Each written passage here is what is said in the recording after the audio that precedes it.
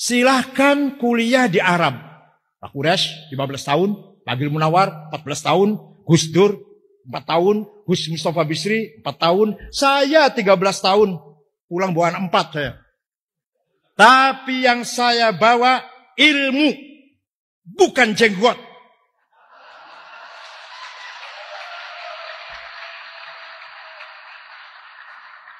Bukan gamis. Bukan budayanya.